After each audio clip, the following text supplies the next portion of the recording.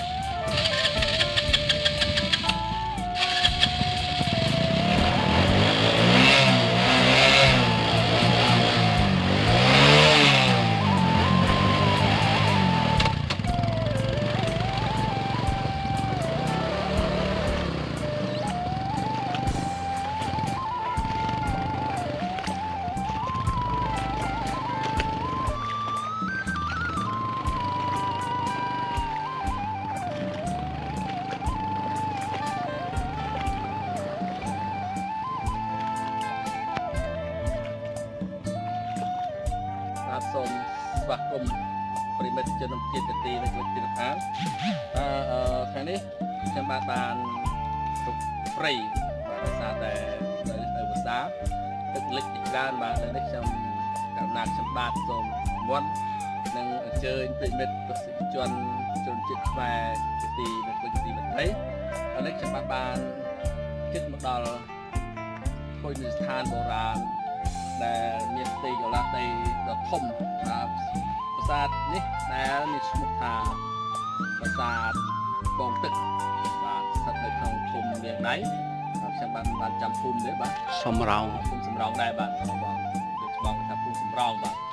បាទភូមិសំរោងឃុំលៀងដៃស្រុកអង្គរធំខេត្តសៀមរាបប្រទេសកម្ពុជាបាទ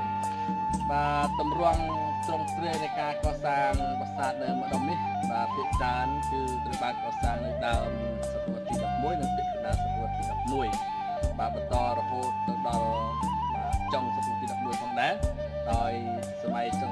សតវត្សទី11គឺព្រះអង្គហាសបរមៈនោះព្រះអង្គមិនបានកសាងទេប៉ុន្តែព្រះអង្គទៅជាអ្នកជួសជុលបាទស្នាដៃពុទ្ធរាមនិងព្រះបិតារបស់ព្រះអង្គទេខ្ញុំបាទសូមបង្ហាញទៅមិញថាតើប្រាសាទពងទឹកនេះពិសេសសិសល់សំខាន់ប៉ុណ្ណាបីតែជូនបងប្អូនដែលខ្ញុំបានបានក៏តស៊ូបើកម៉ូតូកាត់ដុកកាត់ព្រៃកាត់ទឹកកាត់មុខម៉ូនេះជាមួយមកតិចទៀតខ្ញុំត្រឡប់ទៅវិញខ្ញុំថតអាកន្លែងផ្លូវចូលឲ្យបងប្អូនមើលថាការ ធ្វើដំណើររបស់យើងខ្ញុំនៅ New Adventure បាទដំណើរសងពេញយ៉ាងណាបាទសូមអញ្ជើញទៅសាមបន្តជាមួយខ្ញុំបាទបាទ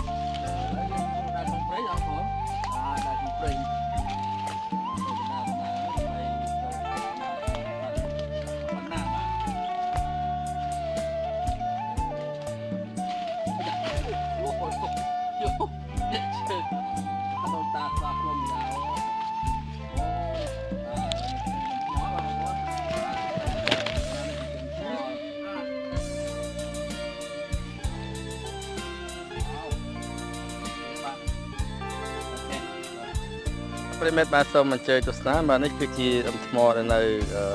សេសសល់បាទហើយខ្ញុំបានបន្តទៅមុខទៀតបាទបាទនេះគឺជាទស្សនភាពបាទផ្លូវចូលទៅ ប្រាសាទនេះគឺយើងឃើញនៅសេសសល់បាទកសិនទឹកពិតជំវិញផងដែរបាទបាទនេះអរស្នាយបាទបំតិនមានការអភិរក្សថែរក្សាឡើយទេបងប្អូនបាទ ឃើញនៅស្នាមជីកឹះកកាយបាទដើម្បីរកទៅសម្បត្តិសម័យមុនបាទបងប្អូនបាទអើយនេះអន្លង់បាទសៅអន្លង់ធំធំបាទបាទអន្លង់ធំធំដែលគេជីកបាទបាទបងប្អូនឥតឥតធំធំតែម្ដងបាទតម្រងឥតនៃប្រាសាទនេះដែលមានឈ្មោះថាប្រាសាទពងទឹកបាទបាទនេះគឺជា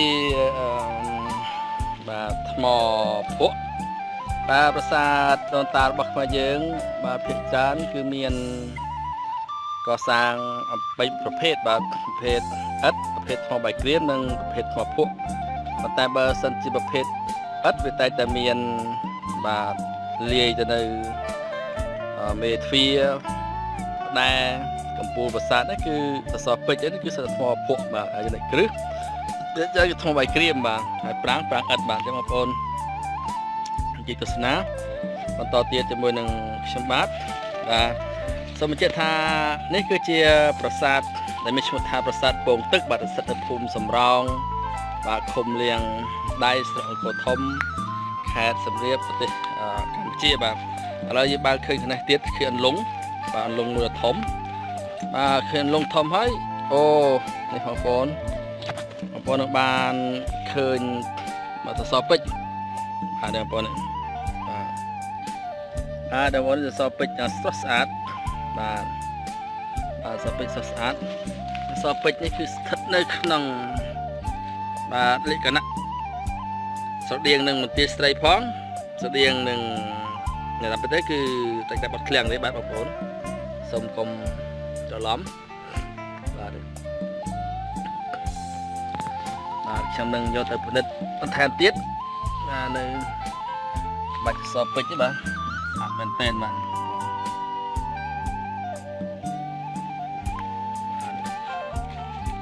សោះស្អាតតែម្ដងដូចយើងក្រឡាសោតបាទសពុតសោតស្អាតមែនទេបង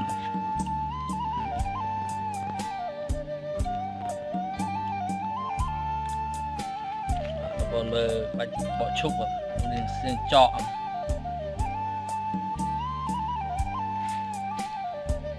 បាទទេប្រិមិត្តបាទនេះមកបាយថ្មភក់បាទនៃប្រាសាទពងទឹកបាទកប់នៅកណ្ដាលព្រៃព្រឹក្សាគួរឲ្យស្ងេះស្ងោចកណ្ដោចកណ្ដែងបាទពុំទាន់មានការអភិរក្សនិងរក្សាឡើយទេចាមែនស្ដេចបាទអស្ចារ្យមែនស្ដេចព្រះអង្គនេះបាទគឺកសាងច្រើនមែនទែន បាទបងប្អូនបាទនេះថ្មមួយដុំទៀតហើយបាទថ្មដុំទៀត4ជ្រុងលក្ខណៈពើផ្កាឈូកប៉ុន្តែសារដល់នៅភ្លៀងមានស្លែកាន់បាទបាទនេះគឺជាទីកន្លែងដែលត្រូវបានជីកបាទជីកចានកន្លែងចានអន្លើបាទក៏សោះស្ដាយបងប្អូនបាទ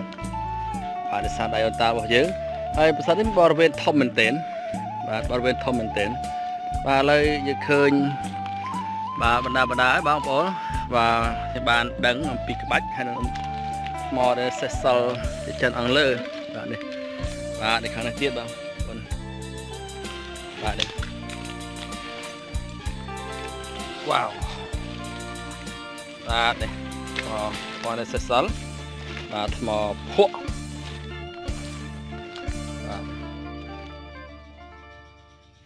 អាខនេះទៀតបាទបងនេះរៀងនឹងកម្មចន្ទាបាទបាទប្រហែលជាបាទខឿនជុំវិញនៃប្រាសាទហើយបងប្អូនបាទនេះសូមអញ្ជើញទស្សនាបាទបងនៅសិសលបាទបងប្អូនបាទនេះគឺជាទស្សនីយភាពនៅជុំវិញនៃប្រាសាទពងទឹកដែលយើងឃើញមាន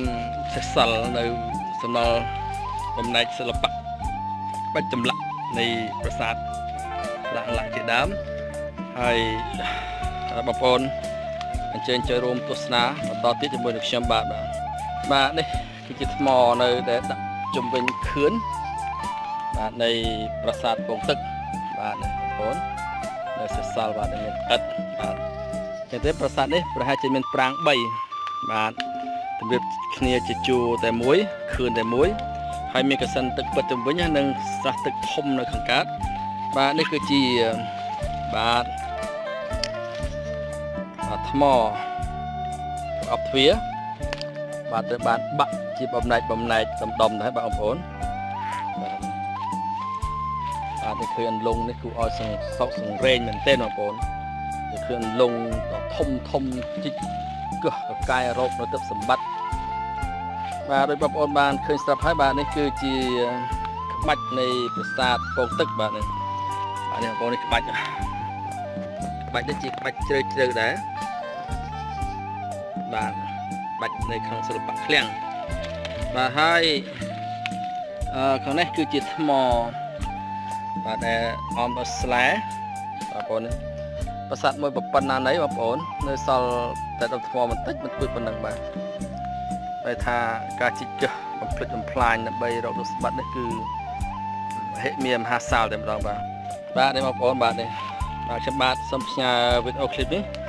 បាទចែកជូនប្រិមិត្តជនរួមជាតិដែលស្ថិតនៅក្នុងស្រុកក្តីក្រៅស្រុកក្តីមានខ្មែរកណ្ដាលខ្មែរលើខ្មែរនេះសមុទ្រខ្មែរសរិនខ្មែរទៀមភពលោកបាទ បានទស្សនានៅស្ថានភាពសិល្បៈខ្មែរយើងដែលកសាងដើមទសវត្សរ៍ទី11បាទបាទបងប្អូនបាទនេះគឺជាបាទទស្សនពេជ្របាទទស្សនពេជ្រលក្ខណៈបែបនេះមើលទៅចង់ស្តៀងនឹងកោះគេមើលតែនេះចង់ស្តៀងកោះគេបាទប៉ុន្តែអឺខ្ញុំបានបានថតមិនមិញនេះគឺបានពិនិត្យមើលនៅខាងសបកកាឈូខាងនោះគឺស្ថិតនៅក្នុងសិល្បៈឃ្លាំងបាទអូស្អាតមែនទែនស្លែតោះនេះ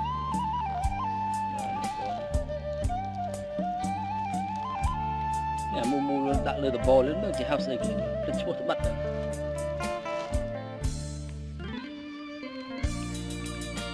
បាទនេះគឺក្បាច់តបកឈូកដ៏ស្រស់ស្អាតនៃបាទប្រាសាទពងទឹកបងប្អូនបាទកម្រមានអឺអ្នកស្គាល់បងប្អូនបាទប្រាសាទនេះបាទអ្នកស្គាល់តិចណាបាទតែនេះសូមផ្សាយវីដេអូឃ្លីបទៅជូនបងប្អូនទស្សនាបាទ បាទសូមបញ្ចប់វីដេអូឃ្លីបតែប៉ុណ្ណេះសូមថ្លែងអំណរគុណដល់មិត្តភក្តិខ្ញុំឆ្ពងយុទ្ធវណ្ណាដែលគាត់បានជូនខ្ញុំបាទមកទីនេះផ្ទាល់បាទឲ្យបានឃើញនៅ3កន្លែងថ្ងៃនេះគឺបានឃើញប្រាសាទគ្រឹះប្រាសាទមួយសត្វតាពាំងឈូកតូចមួយហើយនិងប្រាសាទពងទឹកបាទហើយសូមផ្ញើវីដេអូចែករំលែកបាទនេះជាទស្សនវិជ្ជាបាទជំវិញទីនេះតែសុទ្ធតែស្នាមចុះកកាយនៅសម័យមុនបាទដើម្បីគោលបំណង យកស្បាត់ចែកជាលក្ខណៈបុគ្គលចែកជានិយាយពិបាកបាទសម័យទាំងមិនទេសម័យជាសង្គ្រាមចា៎បាទចឹងសូមបញ្ចប់វីដេអូឃ្លីបទៅប៉ុណ្ណេះសូមថ្លែងអំណរគុណដល់ប្រិមិត្តដែលតែគ្រប់ត្រូលហើយនឹងទស្សនានៅវីដេអូឃ្លីបរបស់ខ្ញុំបាទដែលខ្ញុំបានផុសនៅក្នុង YouTube Channel ឈ្មោះកម្ពុជាវេរានិងមរតកអង្គរអស់ច្រឡំមរតកខ្មែរបាទបាទសូមអរគុណអរព្រគុណ